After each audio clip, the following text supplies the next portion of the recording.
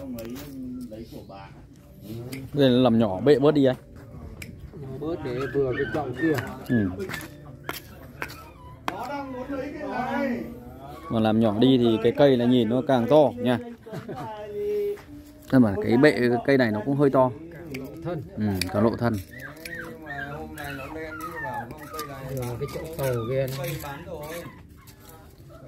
Và hướng lún lực này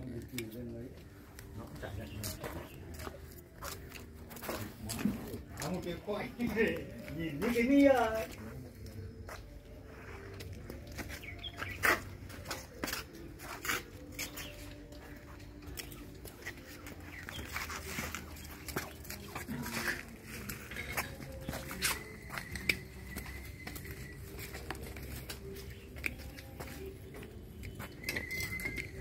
này dê bé ăn ra chẳng mấy xỉa qua cái đấy lên trồng ngay được ừ.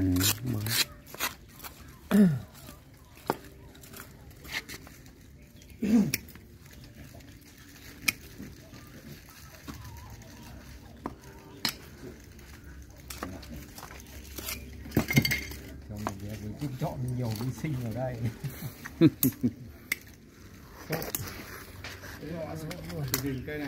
Nhìn con này thân hoành tráng nha. Đẹp. Giả thế.